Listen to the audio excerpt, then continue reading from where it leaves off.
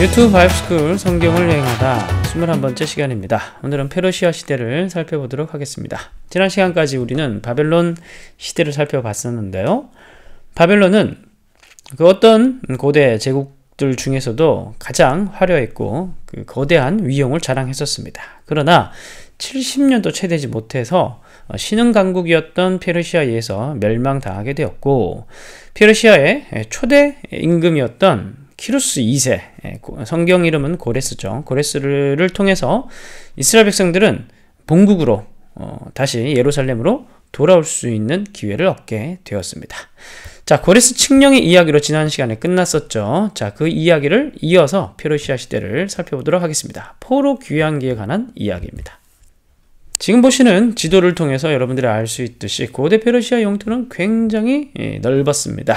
바벨론, 그리고 아시리아, 그 이전에 다른 제국들에 비해서 훨씬 더 넓은 거의 대부분의 동방 중동 지역을 다 통치하고 있었습니다. 소아시아 지방까지 통치하고 있었고, 이집트, 그리고 레바논, 시리아 지역까지, 그리고 어, 메소포타미아와 이란 지역까지 다 통치하고 있었습니다.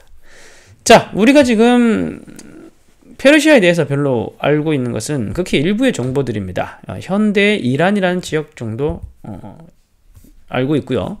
그리고 뭐 페르시아 왕자 이런 영화를 통해서 황금의 제국이라는 사실도 우리가 어, 알고 있습니다. 그리고 뭐 영화 300을 통해서 뭐 불사조 이모탈 어, 그들의 정예병이었죠. 그 정도로 알고 있는데 페르시아의 벽화를 보면 이모탈은 실제 이모탈은 정예병들은 이렇게 생겼습니다. 뭐 평범하게 생겼죠. 자, 그런데 페르시아 시대에서 성경적으로 가장 중요한 역사는 바로 그들의 귀한 역사입니다. 이스라엘 백성들이 잡혀간 지가 엊그제 같은데 그리고 그들은 정말 하, 정말 자신들의 나라와 하나님의 약속이 다 없어지고 사라지고 소멸해 버린 줄 알았지만 그리고 예언자들이 예언했던 그 예언들이 과연 성취될 수 있을까 의심하며 살았지만 결국 하나님의 은혜로 그들은 다시 예, 본국으로 돌아올 수 있게 되었습니다. 자, 여기가 아, 이란 아, 페르시아 지역이라고 한다면 거기에 대해 수도가 아, 수사, 수사성이 있는 이 지역입니다. 자, 여기에서 여기에서 605년에 바벨론에 의해서 어, 다니엘을 비롯한 이스라엘 백성들이 예, 포로 잡혀갔습니다. 그런데 536년 키루스 키루스 2세에 의해서 1차 귀환을 하게 되니 더하기 빼기를 해보면 대충 70년 나옵니다. 예레미야가 70년 이후에 이스라엘 백성들이 본국으로 귀환하게 될 것이라고 예언을 했죠. 정말 정말 문자 그대로 약 70년이 있고 난 이후에 이스라엘 백성들은 본국에 따 본국으로 돌아올 수 있게 되었습니다. 자, 어, 이것은 마치 예, 사무엘서에 보면 이스라엘과 블레셋이 전투를 벌였을 때 법궤를 빼앗기고 그 법궤가 블레셋으로 들어가서 스스로 다시 이스라엘 땅으로 돌아오는 이야기가 사무엘서 5, 6장에 나옵니다. 그 이야기가 반복되듯이 하나님께서는 저만 하면 이국 땅으로 어, 하나님께서 사로잡힌 것, 사로잡혀 가시는 것처럼 보이시다가 다시 예, 스스로의 약속을 지키시면서 돌아오시는 그런 모습을 보여주게 됩니다. 자, 성경을 읽을 때 그러한 패턴들을 우리가 잘 기억하는 것이 굉장히 중요하겠습니다. 자, 이스라엘 백성들은 드디어 하나님의 은혜로 그리고 키루스에 의해서 허용으로 인해서 본국으로 돌아오게 되었습니다. 마치 1960년 청교도들이 메이플라워호를 타고 종교의 자유를 위해서 아메리카 대륙에 들어온 것처럼 이스라엘 백성들은 예루살렘으로 돌아왔습니다. 자, 그때 그들은 돌아오자마자 성전을 건축하게 되었는데요. 성전을 건축하게 되는 이 사건은 굉장히 중요한 사건입니다. 바로 이스라엘이 귀국, 귀환한 목적이 되는 것이기 때문이죠. 바로 하나님께 예배드리기 위해서 다시 하나님의 백성이 되기 위해서 돌아온 것이죠. 그래서 첫 성전의 기초를 놓았습니다.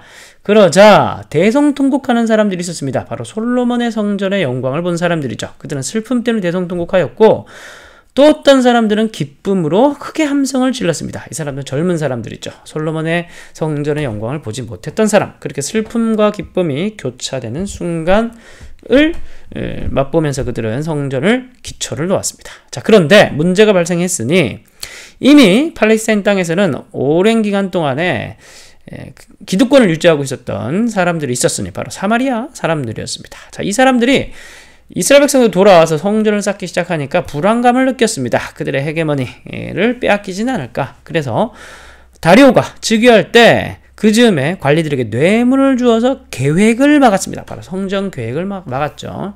그래서 캄비세스 2세, 키루스가 죽고 캄비세스 2세 때 성전 건축이 멈추게 됩니다. 장장 16년간 멈추게 됩니다. 다리오 왕 2년 때까지. 자, 흉물이 되어버린 성전 어떻게 다시 재건하게 될 수 있었을까요? 그동안에 어떤 역사적 사건이 발생하게 되었을까요? 자, 캄비세스. 두 번째 왕이었던 페르시아의 두 번째 왕이었던 캄비세스는 폭군으로 유명했습니다. 뭐 그와 관련된 뭐 그런 에피소드들도 에피소드들도 있는데요. 자, 캄비세스가 폭군이다 보니 인기가 없었습니다. 그래서 시민들이 캄비세스보다 그의 동생인 스메르디스를 더 좋아했는데요. 어, 캄비세스가 이집트로 가면서 그의 부하 장수에게 장군에게 이집트로 가면 자기 동생 스메르디스를 죽이라고 명령을 합니다. 실제 스메르디스가 죽게 되고요. 그런데 문제는 캄비세스가 이집트에서 다시 본국으로 돌아오게 될 때 그가 말에서 떨어져 그만 낙상해서 죽고 맙니다. 그러자 본국에 있던 페르시아 종교가 조로아스터교인데요. 조로아스터교의 승려가 스메르디스를 사칭해서 장막 정치를 예, 쿠데타를 일으켜 장막 정치를 통, 예, 펼치게 됩니다. 그래서 7개월간 쿠데타가 일어나게 되고요. 그게 가우마타의 반란이라고 합니다. 이때 비주류였던 다레이오스가 군사를 일으켜서 가마우터의 반란을 정리하게 되고 그가 왕으로 등극하게 됩니다. 여기와 관련된 비문이 이란 중부 키르만사 절벽에 새겨져 있습니다. 자, 이렇게 정세가 급변하고 있는 상황, 옛날 왕이 죽고 새 왕이 일어나고 쿠데타가 벌어지고 뭐 그런 상황 가운데 하나님께서 학계와 스가랴 선지자를 보내게 됩니다. 지금부터 얘기하는 게 바로 학계와 스가랴 선지자의 학가 스가랴서의 예, 역사적 배경이 되겠죠. 자, 그들은 16년간 방치되어 있었던 성전을 다시 건축할 것을 하나님의 예, 말씀에 힘입어서 외치게 되고요. 이때 예, 학계 선지자가 한 말이 중요합니다. 바로 모든 나라의 보배가 이제 이스라엘 땅에 이르게 될 것이다. 이렇게 얘기합니다. 모든 나라의 보배가 이 성전에 영광이 충만하게 하리라. 성전만 지으면 뭔가 큰 영광이 펼쳐지게 될 것이라는 뭐 그런 어떤 내용들을 예언을 했던 것이죠. 스가랴는 훨씬 더 묵시적인 언어로 성전에 대한 이상을 예, 선언을 합니다. 힘으로도 안 되고 능력으로 안 되고 오직 하나님의 영으로 되니까 열심히 해봐라. 뭐 그렇게 선언을 합니다. 이스라엘 백성들은 학계와 선지자 예언자들의 말에 힘입어서 다리우스의 새로운 왕이었던 다리우스에게 편지를 보내게 되고 어, 다리우 왕의 편지가 왔는데 건축해도 된다. 뭐 그렇게 확인을 해줍니다. 왜냐하면 보물 정각에서 고레스 칙령을 발견했기 때문입니다. 자, 이스라엘 백성들이 다시 성전을 제2성전을 건축하고 있을 동안에 그리스 전쟁이 발발하게 되는데요. 페르시아 고대 운동 지역에 있었던 가장 중요한 서방과 동방이 격렬하게 충돌했던 대규모의 전투죠. 자, 아, 이것은 동방에 있었던 이 페르시아가 서방으로 진출하려다가 벌어진 전쟁입니다. 원인은 이 다리오스가 아, 스키타 이전에서 참패를 하게 되고 이 소문이 퍼지자 이 이 동방 지역에 유일하게 이오니아 지방에 그리스 사람들이 살고 있었습니다. 그 동방 지역에 그리스 사람들이 살고 있는 지방이 이오니아 지방이었는데 이 사람들이 이제 다리오스가 패배했다는 얘기를 듣자 그리스 아테네와 에레트리아에게 요청을 합니다. 우리를 도와달라. 우리를 독립시켜달라. 그러자 아테네가 병력들을 보내게 되고 이오니아 지방의 수도였던 사르디아, 사르디스, 사르디스라는 지역을 예, 가서 어, 불태워버립니다. 자, 그런데 여기 이제 성경 이름이 4대죠, 4대. 4대 교회. 이 얘기를 들은 다리오스는 그 대군을 이끌고 쳐들어가서 아테네를 박살내게 되고요. 어, 라데 전투라고 하죠. 그리스 사람들을 박탈, 박살내고 밀레투스를 숙대밭으로 만들어버리게 됩니다. 그리고 이것으로 끝나는 것이 아니라 그리스에게 조공을 요구하게 되고 조공을 거부하자 약 2만 5천의 육군과 600척의 해군을 끌고 출정을 하게 됩니다. 이것이 바로 그 유명한 1차 아, 그리스와 페르시아 1차전이었던 마라톤 전투입니다. 자, 마라톤 전투는 당시 대부분의 사람들이 페르시아의 승리를 점쳤습니다. 뭐 거의 4배나 되는 병력이 되었기 때문에 그러나 아, 그리스 사람들은 자유에 대한 열망이 강했죠. 바로 자유를 열망하는 그리스의 1만 돌격병들이 기습 작전을 해서 펼쳐서 페르시아를 몰아내는데 성공하게 됩니다. 이때 페르시아군이 6,400명이 죽었는데 기록에 의하면 그리스 병사들은 192명만 죽었기 얻게 되었다고 합니다. 자, 그러나 페르시아는 자원이 굉장히 많죠. 풍부한 동방의 자원들을 인적 자원과 물적 자원을 가지고 있죠. 약 10여 년이 지나고 난 이후에 그동안의 페르시아는 3, 40만의 군대를 모으게 됩니다. 700대의 함대. 자, 그동안에 그리스도 놀고 있었던 게 아니죠. 1차전 승리만으로 끝났다는 것이 아니라는 것을 알고 있었습니다. 그래서 갤리선, 백조, 새로운 배를 건조를 하는데 훨씬 더 빠르고 그리고 이 배, 배의 앞부분이 단단한 그래서 어, 옆을 두동강 낼 수 있는 겔, 새로운 갤리선을 건조하게 됩니다. 자, 이게 이제 그 유명한 그리스와 아, 페르시아의 그 유명한 2차 전쟁 살라미스 해전입니다. 해군 입대를 하게 되면 반드시 배우게 된다고 하는 그런 음, 그런 전쟁이죠. 자, 다리우스가 죽고 그 다음에 그의 아들이었던 크세르크세스가 바로 2차전을 이끌게 됩니다. 이오니아 지방에서 크세르크세스는 대군을 이끌고 출정을 하게 됩니다. 수군과 육군을 나누어서 이동을 하게 되고요.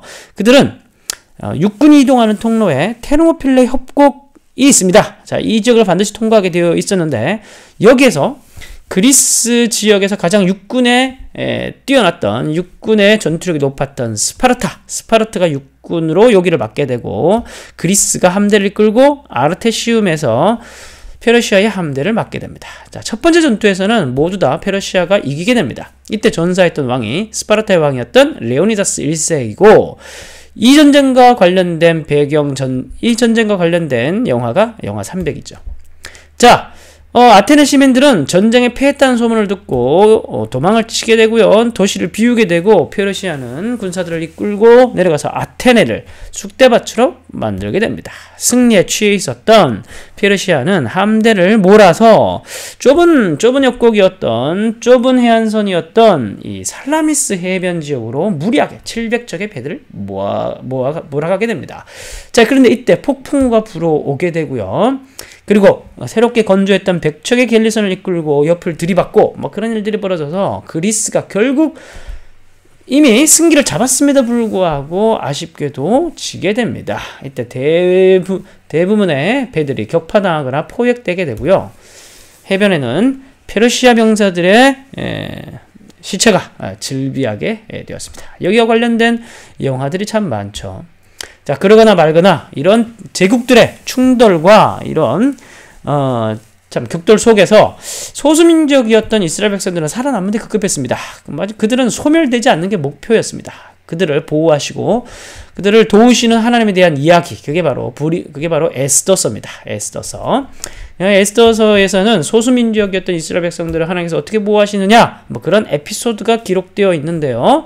그들은 음, 그렇게 하나님께서 에스더를 통해서 그들을 보호해 주셨던 이야기를 기념하기 위해서 불임절을 만들어서 오늘까지 지키고 있다고 합니다. 자, 그 이후에 페르시아의 왕이었던 아닥사스다 1세. 아닥사스다 1세 때는 2차, 3차 포로 귀환이 이루어지게 되는데요.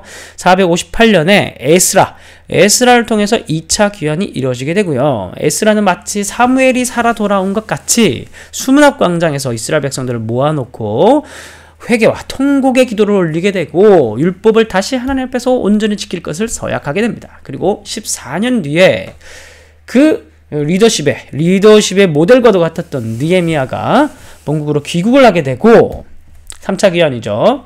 느에미아의 리더십에 의해서 이스라엘 백성들은 성벽을 재건하게 됩니다. 52일 만에 성벽을 재건하게 됩니다. 자, 그런데 느헤미야는 성벽 재건만이 아니라 그는 사회의 틀을 세웁니다. 사회적 개혁을 이끌어냈던 중요한 인물입니다. 바로 율법의 가장 중요한 정신이었던 안식년의 정신, 일곱째 해마다 땅을 쉬게 하고 모든 빚을 탕감하리라. 그래서 부채 탕감법, 농경휴지법 같은 것들을 실행을 하게 됩니다. 그리고 느헤미야 시대 때 바로 키부츠와 같은 복지 공동체, 쿠파와 타무유 같은 함께 공동 생활을 하면서 경제 생활을 영위하는 그런 문화들이 실행되게 되고요. 바로 공평과 정의의 율법의 정신들이 느헤미야 시대 때 많이 이루어지게 됩니다. 이스라엘 백성들은 점점 변해가고 있습니다. 고난당하기 전에 몰랐던 하나님의 연단 속에, 역사적 연단 속에 포로기를 지나면서 이스라엘 백성들은 우상숭배를 멀리하게 되었고 무엇보다 하나님의 율법들을 그들은 하나님의 말씀을 제대로 어, 지키려고 노력하는 변화가 생기게 되었습니다. 그래서 10편 말씀에 보면 고난 당하기 전에는 그릇 행하였는데 이제 주의 말씀을 지키고 주의 율례들을 지키게 되었다.